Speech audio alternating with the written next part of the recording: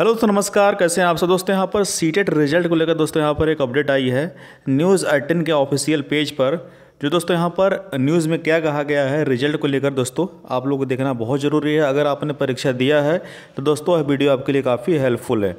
दोस्तों, यह लिखा है, रिज़ल्ट में देरी को लेकर कैंडिडेट्स ने सोशल मीडिया पर जताई नाराज़गी, लिखा क्यों कराई थी ऑनलाइन परीक्षा?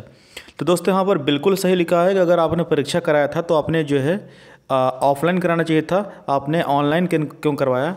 और थोड़ा सा आपको रुक ही जाना चाहिए था, इतनी भी कई जल्दी थी। और अगर करा लिया तो फिर रिज़ल्ट क्यों देने में इतनी लापरवाही, इतनी देरी कर रहे हो? तो दोस्तों आप नीचे चलिए, पढ़ते हैं, नीचे क्या लिखा हुआ है?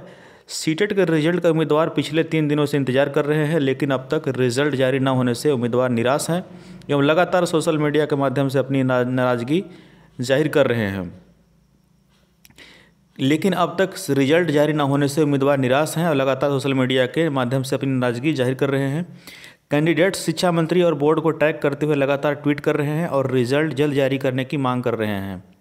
कई उम्मीदवार रिज़ल्ट में देरी को लेकर तंज भी कस रहे हैं। एक यूज़र ने लिखा कि, अगर इतनी देरी में रिज़ल्ट जारी करना था तो ऑनलाइन परीक्षा क्यों कराई गई?